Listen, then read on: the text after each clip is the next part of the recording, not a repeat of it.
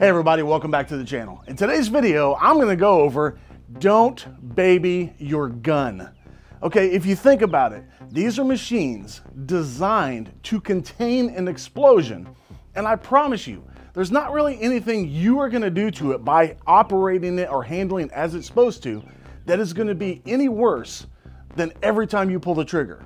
So unless it's like an ultra rare safe queen that you just never shoot, don't baby your gun. It's a tool meant to be used. All right, so for an example, a lot of times we'll hear people, they'll get a hold of us and they'll say, hey, I just got a new gun. I went to go load it up. And they admit to being very delicate and riding the charging handle very slowly.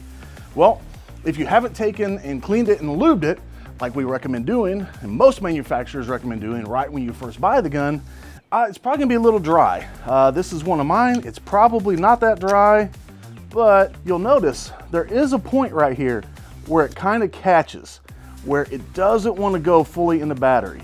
And sometimes you can see the front of the barrel sticking out, you can see this, the guide rod sticking out. This gun is not all the way into battery. It's because I did it real gingerly. Granted, I just talked and it went into battery because I have a clean gun. Um, but that's one of the things you see is people are just being a little too delicate with their gun and things like that happen. So I've got an assortment here, including AK. Yes, even AKs do this.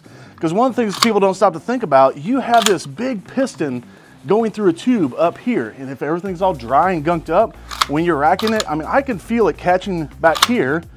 I can feel it catching right in here. There are multiple places there that I can feel it catching. ARs, man, that's one of the original designs with the forward assist is because it wouldn't always go back in the battery and you'd have to use a forward assist to get that in there. So there's a lot of different designs that can not go into battery and not operate correctly if you're being really careful with it. So let's just go over how you should act when you have one of these guns.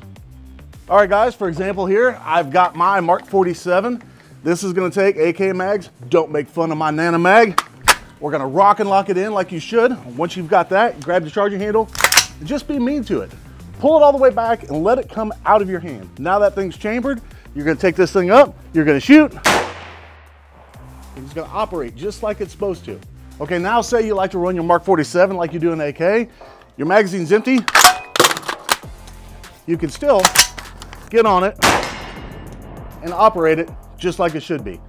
All right, guys, next I got my 5.56 Dissent. It's got the folding stock. Smack that thing closed. Let's get that magazine in there. Slam it home, cycle it, and everything there was just gonna be very, you know, it's it's very aggressive. You take it, you pull back, you let go. You don't have to take and pull it back and gingerly ride it forward. Just let it rip out of your hand. That's gonna cycle it almost every time. All right, next, I have a cheap Black Friday special AR-15. Did you hear how dry that was? I literally bought it, put it right in my safe, never did anything with it. But you do it and operate it like it should, it's gonna work. Okay, next, AK variant. This is a KP9, nine millimeter AK. Smack it home, let it go. Just like it's supposed to. Next, handguns. Take it, smack it, do that. Don't do that ginger stuff, just let it eat, okay? All right, remember, each of these, at least the AR variants, are gonna have some type of bolt catch, for the most part. Handguns have a slide release. Just let it eat. Operate it the way it's supposed to be operated. You're gonna be running all day. All right, last but not least, revolvers. You see people do this all the time. You take it, you load it, and I'll hang on. Remember I was talking about your babies earlier? This one's my baby. I'm gonna be careful with this one. That's gonna be a point of contention for some people. You're gonna see people say, do that, don't do it. I personally love this gun. I want it to last as long as possible. I'm not doing that to this revolver.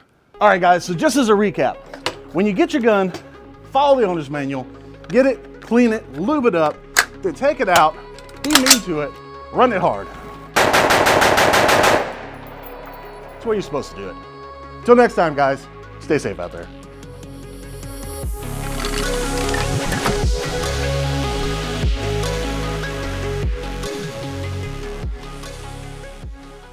All right, next I've got my 556 Dissent. It's got a folding stock.